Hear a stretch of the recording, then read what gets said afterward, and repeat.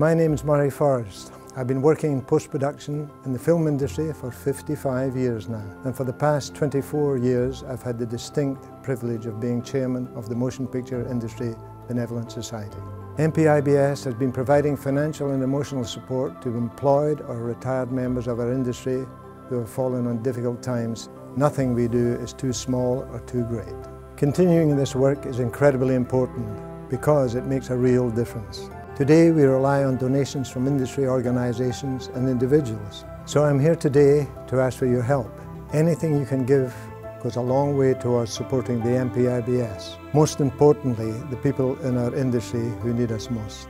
Please be generous. Any and all help is greatly appreciated.